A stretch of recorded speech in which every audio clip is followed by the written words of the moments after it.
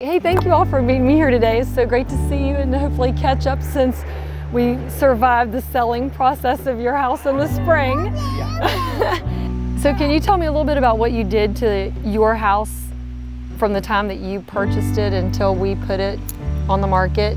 We had it for about five years and did everything from putting a driveway in, tearing up the whole entire yard, planted new grass, did a roof, windows, a lot of drywall work, uh, redid the floors, pretty much everything you could possibly think of. From the ground up.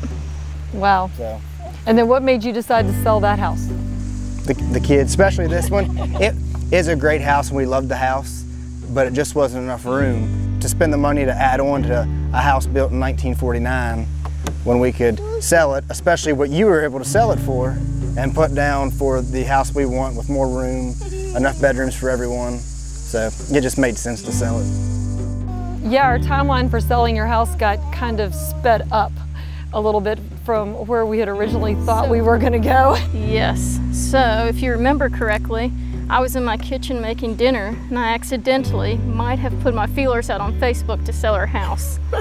and in an instant, I had to call you, realize I made a mistake. I should not have posted anything online. Yeah, you, you called me and you're like, what did you do? I have people calling me from everywhere wanting your house. You and I stayed up until about midnight talking on the phone, answering your questions, and then you sent me documents all night long. Signed those, got it for work the next morning. So a four month process.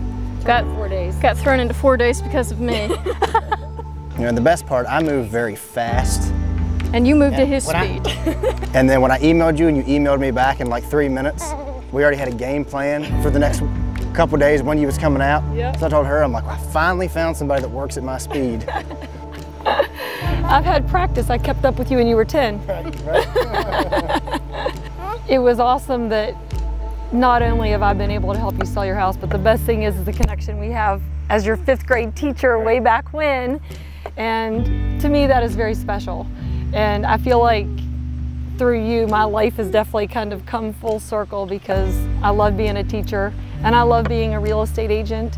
And it was really fun to sit down and really talk you through the process and kind of help you learn, navigate through all of the crazy. It, it was definitely quite, quite the experience. One will never forget. It was fast, but it went so, it was so smooth. It just felt like family was coming in to help us in a situation when we really needed help. And because of the whole process, we were able to, you know, build our dream home. So because of you, now we get our dream. Whereas before, wasn't going to happen. Thank you. And I'm You're glad welcome. I can be part of that. And I can't wait to come see your house when it's finished. We can't wait for it to be finished. Any day. Can't wait for Jace to give me a tour. He's already called his bedroom. Oh, good. thank you all for coming to meet me. And thank you for being more than just clients. I do consider you family and you'll forever be near and dear to my heart.